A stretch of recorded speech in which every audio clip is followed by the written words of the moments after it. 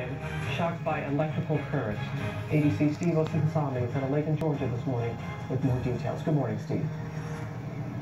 Good morning to you, Robin. It's a very hard thing to do, but experts say that if you see someone being electrocuted in the water near a boat or a dock, you should not go with your first instinct. The very first thing you should do is cut off the power. You could save your life and the person you're trying to help.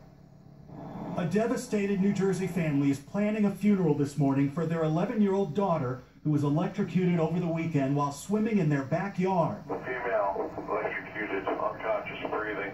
Police say 11 year old Kayla Mades and two of her friends were playing with an inflatable raft in a backyard lagoon Saturday night and swimming near this metal boat lift when they touched it.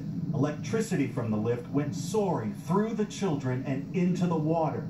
The 11 year old died at the hospital. Her friends were shocked but not seriously hurt. I'm going CPR now.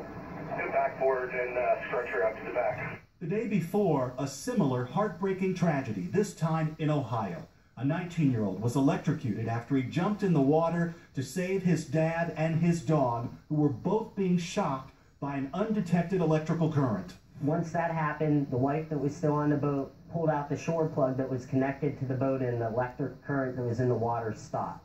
It's called electric shock drowning, usually caused by a short in the wiring of a charging line or a power source at a dock, marina, or boat. We met Jimmy and Casey Johnson last year. Their 15 year old daughter Carmen died the same way in Alabama. Her father and brother jumped in and almost died too. They hadn't yet turned off the power.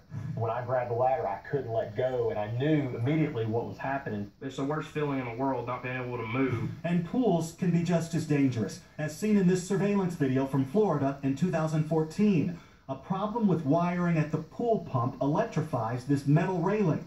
This girl touches it and instantly goes limp. The man helping her is also shocked. They all survived.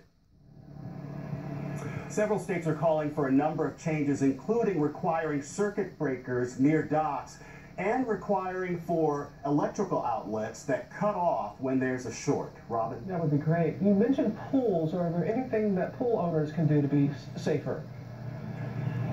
Absolutely. Regular maintenance is important. Also, make sure your pool's equipment and electrical wiring are inspected at least once a year. Robin? All right, Steve, thanks so much. Michael? All right, thank you, Robin. And coming up on our big board, we're breaking down